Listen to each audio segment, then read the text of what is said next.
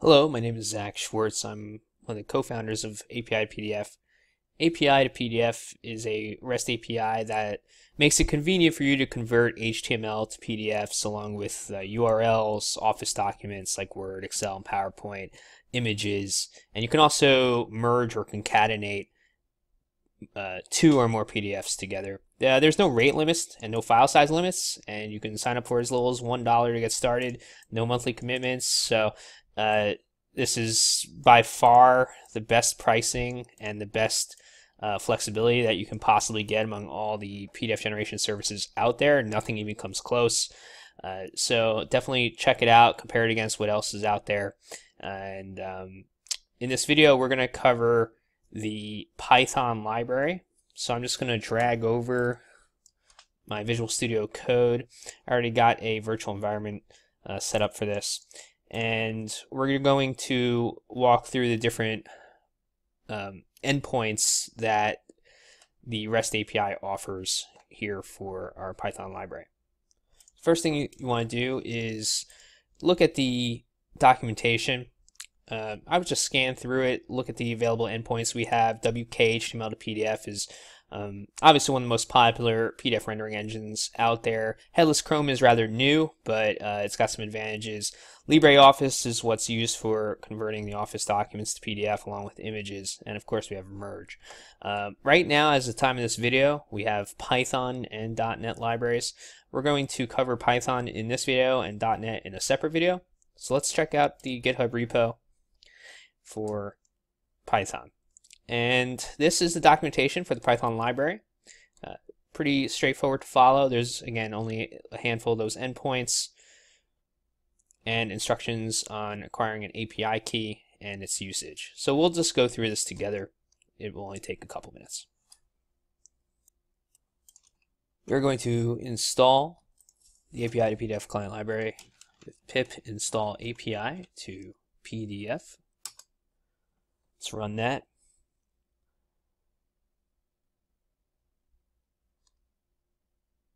There we go. It is now installed. So let's go ahead and actually add a new file. So we'll do from API to PDF, import API to PDF, and I'm going to save this here in my Python and call this uh, test pdf.py. But you can call it whatever you want. That's up to you. But test PDF and there we go. I'm going to put some boilerplate down.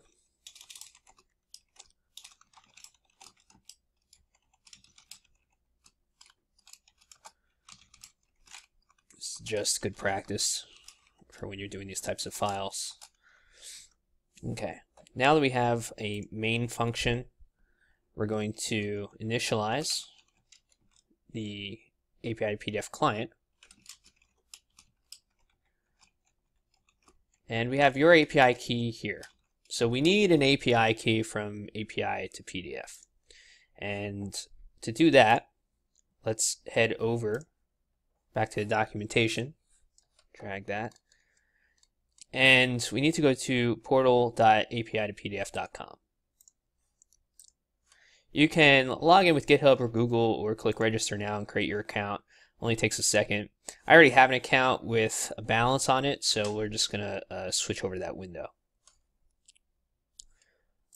Once you're logged in, you can add a balance to your account. I have $5 on my account, but you can go to billing and top up your account with any amount. You can even go as little as $1, and you can choose whether or not to uh, auto recharge your account if it falls below a certain amount.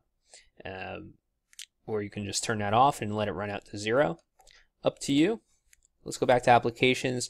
Add your first application. I already have one here. This is an API key. If you're watching this video, this API key probably will not be working by the time you see it. So don't try and use it. Uh, I want to give a quick little overview of what you have available. So if you click view, you can uh, refresh your API key, disable the app if you need to. We're just going to copy that for now. But what's also really useful about this web interface is the request logs. We have no requests uh, right now. We haven't done any yet, uh, but you can see a bunch of requests that come in, so you can see what you know what's been successful um, including errors as well. And you can export the data to CSV if you need your log file. So that's pretty handy. Uh, we're gonna we, we may come back to this after we run a few. Now that we got the API key, let's go ahead and paste it in here.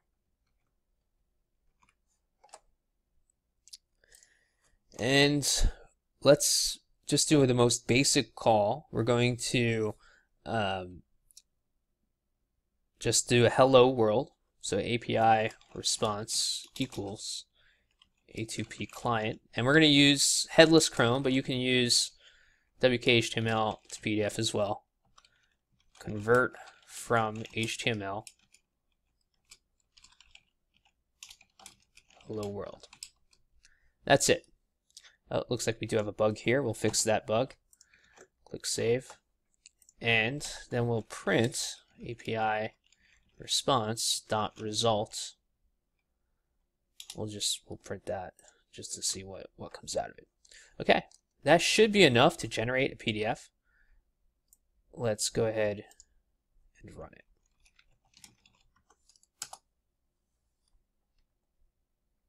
That's it. And this is the URL to the PDF. I'm going to copy and paste this into a browser.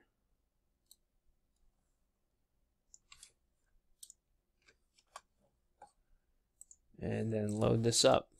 There we go. That's our hello world. So at the most basic level, um, that's how you can use the API. You can also do WK HTML to PDF, which will also work. Um, another thing that's other things that are important for what comes back from the data. Look at the cost. The cost, in fact, it, it's it has to use this notation because it costs such a small fraction of a penny to run that.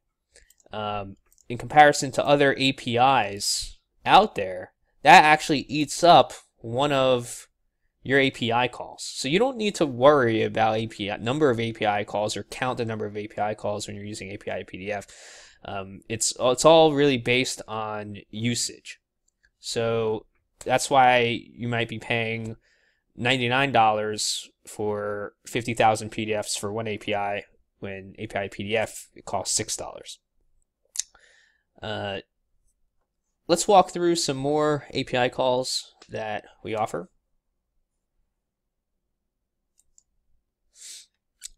The first thing that I want to show is that you can, for both headless Chrome and WKHTML to PDF, you have both convert from HTML and convert from URL. So if I do this, it won't work, but I, I need to pass in a URL instead. So let's do github.com. And we're using WKHTML PDF. Save and rerun.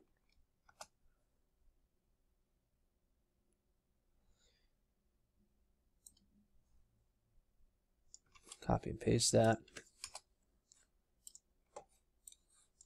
And there we go. That is WKHTML to PDF. I believe Chrome actually renders better URLs, um, but that's why we provide both Chrome and WKHTML, so you can choose between the two, whatever renders better for your websites. Uh, give you gives you the option. We also have a number of advanced settings available for both WKHTML to PDF and headless Chrome. And you can pass those options in. So one you can say inline PDF equals true. What this means is that if you go to the URL for the PDF, it will download the PDF to your machine and then you can open it. But if you click inline, sorry, if you go to inline PDF equals true, and then you go to the URL, it will open the PDF in the browser window, which might be what some of you prefer. So you have that option. You can also specify a file name like that. Uh, if you want, uh, if you leave this blank, then API to PDF will generate a file name for you.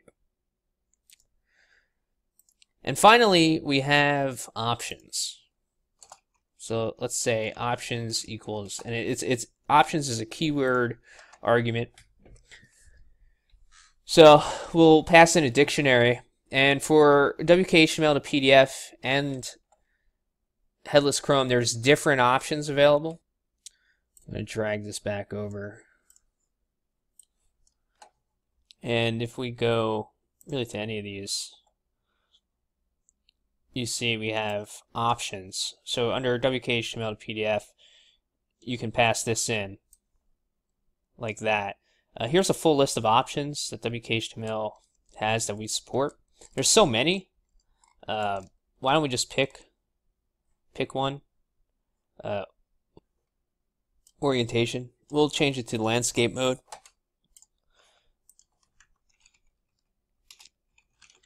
Orientation, landscape. Okay, now let's run it.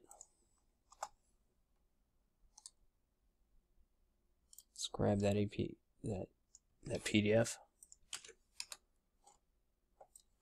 Drag it over and you can see that it is now in landscape mode. So that's just uh, how you would pass in additional options.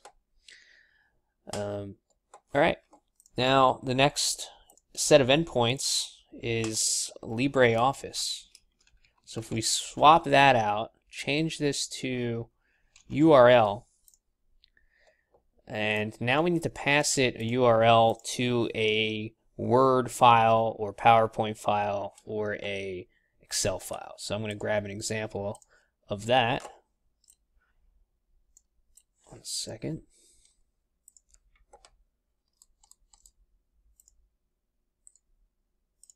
Okay.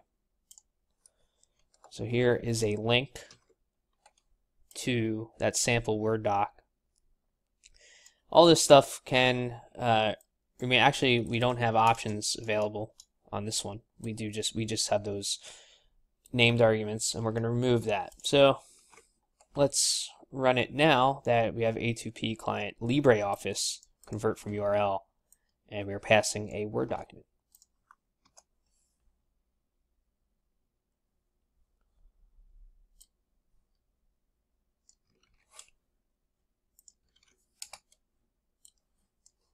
there we go.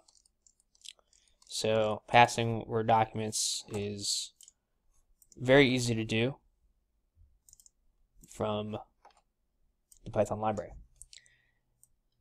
All right. Now the final endpoint is merge. So let's take that PDF that we just converted from a Word file we'll just call this um,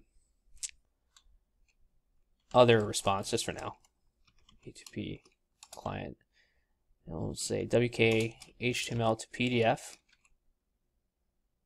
dot convert from HTML just to a hi there.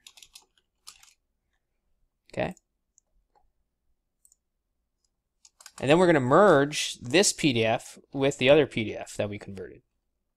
Because this takes in a list of links to PDFs. So we'll do final merge equals A2P client dot merge, and then this passes in a list. So we'll say API response dot result PDF and the other one. Just like that. And then we'll print out that final merge.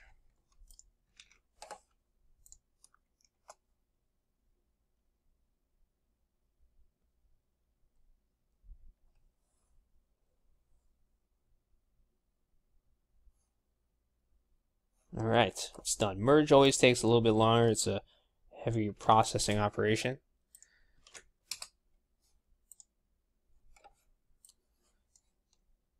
That is the Word file, and we should expect to see hi there here at the bottom. There you go. So we merged these two PDFs together. And finally, I want to go back to the request log. Let's refresh. And now you can see a whole bunch of requests. And the megabytes in, megabytes out, and the cost for for each of them, the merge, all of these. So that concludes this video on generating PDFs from HTML, URLs, Microsoft Office documents, and merging them together, all using the API to PDF library. Uh, that's it. Thank you very much.